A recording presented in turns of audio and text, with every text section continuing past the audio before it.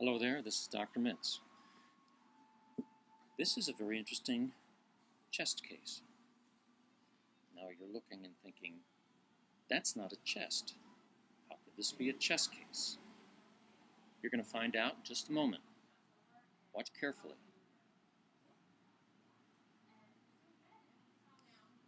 Fifty-four-year-old with seizures, new onset seizures. What's your diagnosis? Very simple. It's not that simple, actually, but it's pretty simple. Lung cancer. Now, it's possible, yes, that it's a primary brain tumor. Primary brain tumors tend not to be so well marginated as this, uh, and they look more Mets usually look more like a round ball, cyst, something like that, more like a marble or something, a ball. And primary brain neoplasms are more commonly irregular and infiltrative, not 100%. But my point is this when a person comes into the ER, you know, an adult, middle age, or, or actually afraid to say, uh, even in their 30s or 40s, but especially uh, later on, 50s and beyond, and they have a new onset of seizures, uh, and do a head CT. There are a lot of reasons for seizures, but if you do a head CT and you see a lesion like this, actually there are a couple of them there, aren't there? But they're right next to one See that? There's one, there's another, so I don't know if it's extending.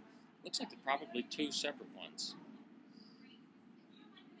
Okay, and this is not an enhanced study, so the high attenuation material you see in the perimeter here, and then layering in the dependent aspect here, is blood.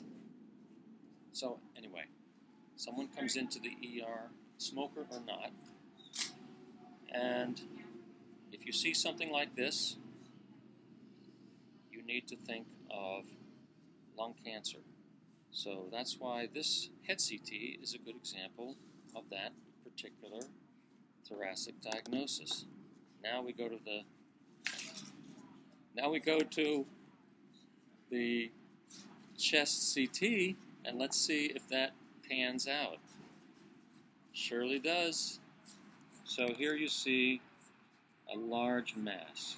Remember, one of the things I want to emphasize to you is the importance of being able to identify an abnormality, and it's as simple as there's an abnormality there.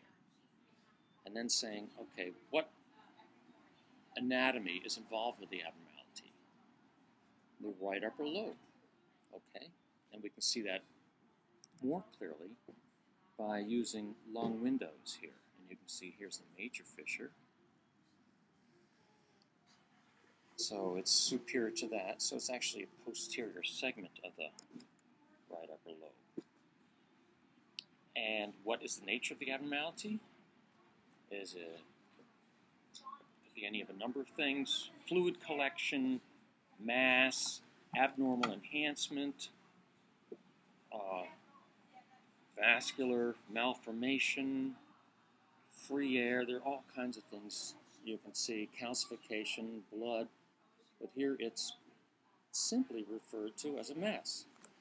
And while you're going to be learning a lot of differential diagnoses, that's not really what you need to memorize in most cases. I'm asking you to memorize some of them, but that's to be comfortable with what your day to day experience of the radiologist is and to be able to relate to the issue of trying to remember differential diagnoses. But I think it's important that you are able to identify that there is an abnormality, describe the abnormality that is involved in reasonable detail, not lengthy, but in a way that the radiologist over the phone listening to you could generally picture what this looks like. So in this case, I wouldn't just say that there's a mass lobe. I'd say there is a large mass in the right upper lobe. Okay? And that alone tells you a great deal. Now, if you were to call the ER, if the radiologist were to call the ER and say, this patient, and you tell them, this patient has a large mass in the right upper lobe and two hemorrhagic lesions in the right frontal lobe, you really don't have to tell them anything else. It screams lung cancer. And then you can start going into other issues. The other issues which are important aren't critical in the immediate setting. Knowing that it's metastatic cancer to the brain virtually certainly will affect the surgical management of the patient if they're going to go in and resect it or not, or if they're going to do radiation therapy, which might depend on the tissue type of this tumor. But there are other things that are important too that will go into a more detailed report. So I would like you to be able to say, right off the bat, large right upper lobe mass with two hemorrhagic lesions in the right frontal lobe. That is succinct, clear, and the most difficult part, I know, from your standpoint, is keeping it that short.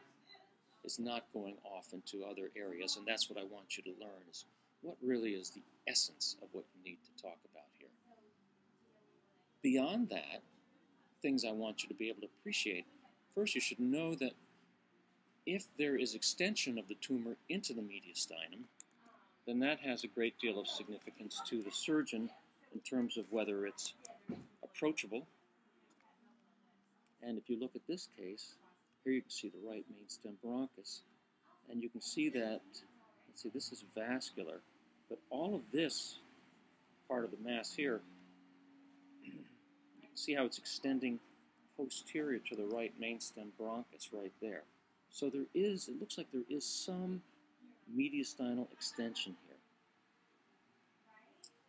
That's very important because this can't be resected. You could take all of this out, but you really can't go in and get that.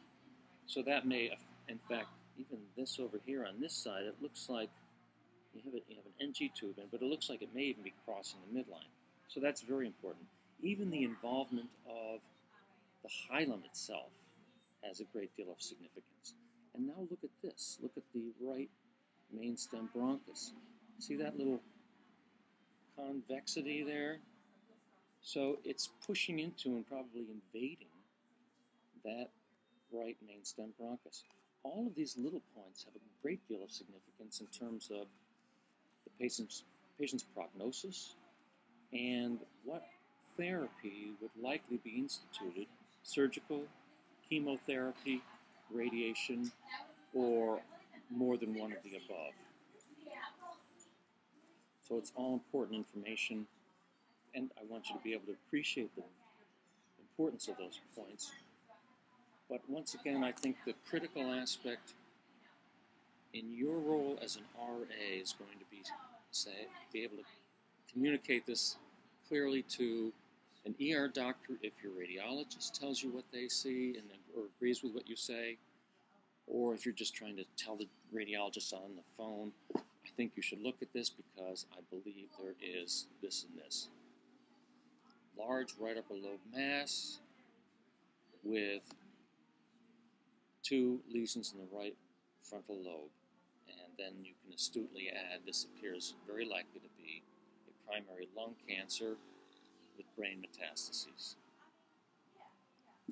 Okay, so what else can we get from this case? To identify whether there's, you want to know, know that if it's just in the right upper lobe or if it's in part of middle lobe or lower lobe. So the sagittal images are very helpful for that, and I think you can see that here. Accent, you can accentuate the lung windows, and they can help you see the fissures, and of course the fissures are going to define the lobes. And I'd say based on this, there doesn't look like there is any right middle lobe involvement. And it might seem surprising to you that a nasty, ugly tumor like that would respect those margins like this. But remember, the anatomy is completely disconnected. So even though you just have this thin line, there's a potential space in there. If you had a pneumothorax, it would be filled with air. If you had pleural fluid, it would be filled with fluid. So we don't see much of a difference here, but it's a it's a big deal for that tumor to cross this potential space to go through the pleura and go into an adjacent lobe. Not that it can't, but that's difficult. Whereas going from the right upper lobe, as we saw, into the mediastinum is not traversing any such potential space, but tracking along existing anatomic planes. And then here, of course, we're on the left side, and you can see that this is the major fissure on the left, and you don't have a minor fissure on the left. Okay? So, I think an important case of lung cancer. And I would further add that it's always important to look at the bone windows, especially, especially in, in lung cancer lung cancer just loves to go to bone. I don't see any bone lesions here, but always keep that in mind. Oops. Oh, look what I almost overlooked here.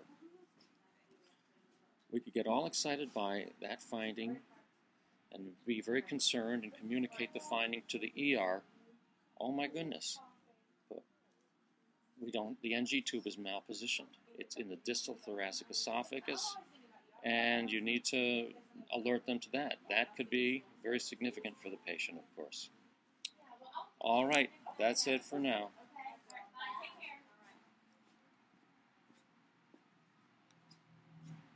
Hey, Max, come here.